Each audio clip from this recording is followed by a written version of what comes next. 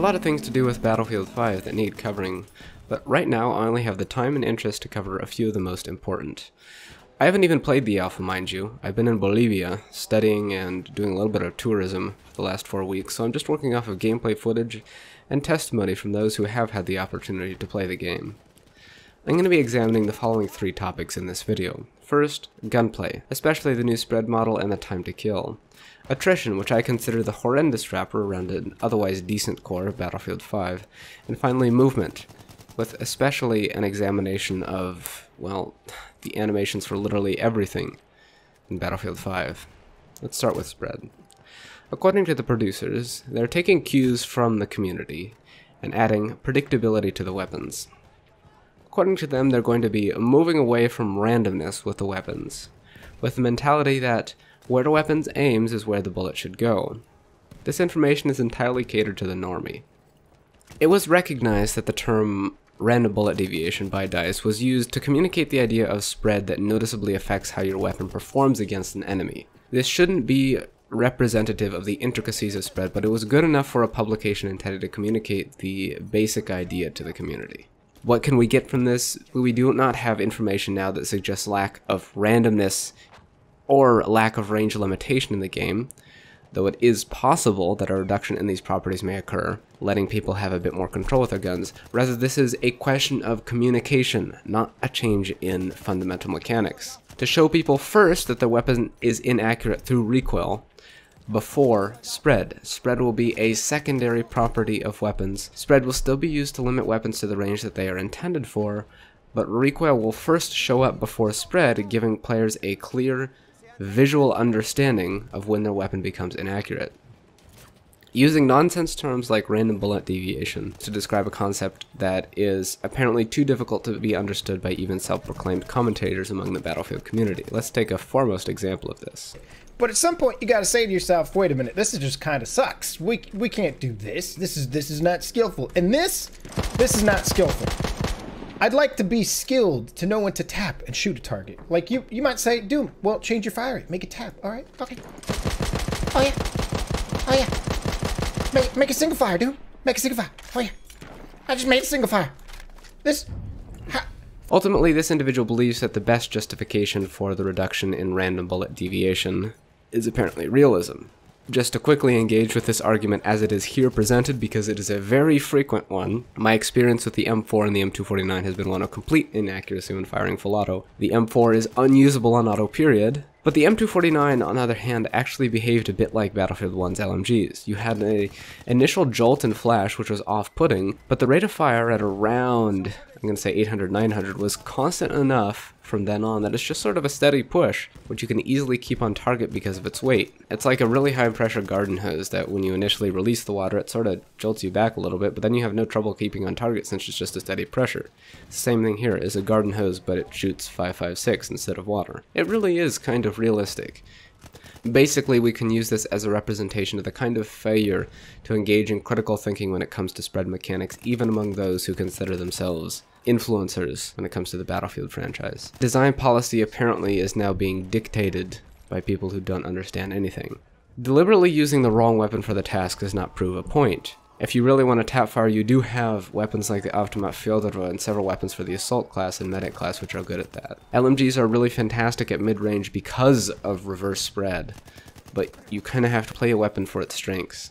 You don't try to use a soup spoon as a steak knife and then come running to me when things don't work out quite the way you want. Finally, I do have a little demo of just how useful tapping a high recoil LMG can be.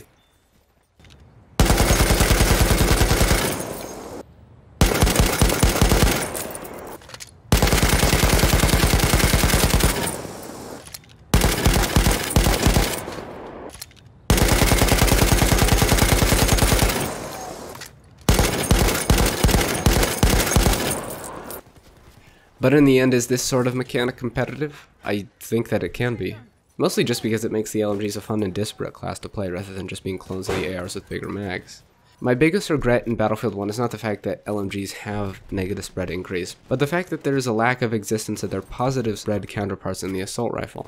Both together in one game, as we have in Battlefield 5, could have allowed us that option. So why all these changes to fundamental gameplay mechanics if they don't actually alter the way the game plays in a fundamental manner? Again, communication. That weapons might be a bit more mechanically interesting to use is of course weapon. However, the lack of spread alone, my bullets go where I point, is pretty much pointless to enhance the skill ceiling. Again, this is the fault of listening to people who do not think. Yes, we clearly need some communication changes so that people can actually understand what is going on with their gun. I do not believe that many people in the community are particularly stupid, I just believe that spread mechanics have been so badly communicated that even people who are generally pretty intelligent manage to misconstrue the actual issue. The failure to effectively disseminate information on how things actually work has bred an ill-informed sentiment that has misidentified the problem and misidentified its solutions. Battlefield 1 spread isn't actually all that excessive in the first place. A 6 round burst from the Automatico, which is now a middle of the road SMG for Battlefield 1, accumulates 0.495 spread. Compare that to a 6 round burst from the MX4, middle of the road Battlefield 4 SMG, which accumulates 0.582. They were noticing the spread because they were tap firing consistently getting hit by the first shot multiplier. This is a badly communicated mechanic that makes weapons appear less accurate than they actually are when they are used, and using them improperly is very easily done. To put it simply, removing spread does not inherently and magically breed a skill gap. That is, if your random spread is just replaced by random recoil, why is this any different? So you can see your screen shaking around instead of just your tracers going to different spots? Again, communication, not an actual lack of skill gap. Fortunately for us, the clamoring of the masses is tempered by some smart people at DICE who seem to have a cohesive vision on how to make the game more interesting. Drunksy has said a few things on the topic, though its details remain hidden from the most of us. It's been stated that spread and recoil mechanics in general had been overhauled, but what's different? First, we have predictable recoil patterns, which aren't fully yet implemented. In other words, it's not the same sort of general drift tendencies that we saw in Battlefield 3 and Battlefield 4, but rather a pattern. A weapon goes to the left and then to the right, for example. The mechanics in play will include recoil increase per shot. Every time you fire a shot, your recoil, horizontal and vertical, or perhaps both, will increase, spread increase per shot, as we've had in prior titles, and spread first shot multiplier, again as we've had in prior titles. Every iteration of the franchise we get more and more subsystems. Spread will still exist, but according to Drunksy it will affect you less in every case than recoil will. In general, a gun can be controlled through time and investment. You can pick a gun, you can play with it, you can learn how it works and get pretty darn good with it. Time to kill seems to feature 3 and 4 bullet kills on automatic weapons, but don't get complacent if you like this sort of thing. If you like TTK 2.0 in Battlefield 1, which is pretty great. I heard it was being considered that we'd be saddled with another game with 5 bullet kill, 500 RPM SMGs.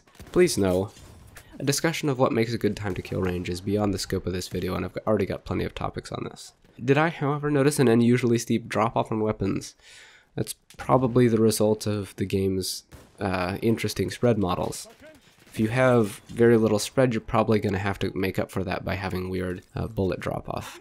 As a whole, it's a little bit early to make a good evaluation since we're still waiting on a lot of the mechanics to become available, and we don't all know what guns will be featured in the final product. With the existence of some spread, it's so far possible that we might end up with very good gunplay. As far as I can tell, the gunplay seems very logical to the end user and makes a lot of sense in the data. Very solid, I would say. The bullet to kill shift points seem annoyingly close, but the product seems to be performing reasonably well according to those who have played it. Range extension, is quite possible and it's viable to engage an inferior player at ranges far beyond your intended engaged range. A fact that was in fact true in Battlefield 1, but harder to see due to the badly communicated spread mechanics. Moving on to attrition, I'm not a fan. Basically, it's a terrible wrapper that seems to encompass an otherwise good core. It prevents people who want to play their shooter from enjoying the shooter aspects of the game by limiting their ability to play preventing them from winning 1v1s after the first engagement, and even just straight up shooting back once they've used up their two mags. It's like PUBG, you've got some entertaining gunplay, but it's wrapped in terrible mechanics and aspects that make them entirely unfun. Regeneration is accomplished in stages, never to full. This is, uh, this is a dependency on people who do not care. You're forcing players who do care about their game and do care about the performance and really want to win. The goal of forcing team play, I believe, is a flawed approach. Think right now you're punishing people where you should be rewarding them instead. You've got a lot of stick in this game right now. I think you need more carrot and probably less stick too. The game needs to be able to implement a loop where you spawn, where once you spawn, you start gathering more stuff if you do well, and the more you stay alive and do good, the more you get. And you reach a point where you want to stay alive instead of just wanting to, you know, run into a flag, die, get your ammo and meds back, get your ammo and health back, and then repeat the whole process again. Don't penalize the lone wolf, it just makes it frustrating for the players who inevitably will run into those teammates who don't care about the game. Rather, you should be rewarding team play effectively. And mind you, team play is not just a set of checkboxes, one assault, one support, one medic. Rather, this is a group of people working together to achieve a common goal, regardless of what archetypes they are playing. Using Battlefield 1 classes, let's take a look at some examples of this. Let's say you have a scout and assault. The scout player is able to put down flares, and the assault uses those flares very effectively with his close quarters weapons. But no, wait a minute, you can't do that in Battlefield 5 because you don't have a medic and you can't heal. And as soon as the assault player finishes one engagement, he's just gonna die on the next one. If you have an assault and a support player for infinite ammo and good close quarters performance, and as well the ability to have infinite anti-tank engagement capabilities, no, you can't play that either, too bad, get over it. Because you don't have a medic and you can't regenerate, neither of you can regenerate. It is my opinion that this limits team play. Oh, but yes, you just have those resupply locations that you can go back to all the time.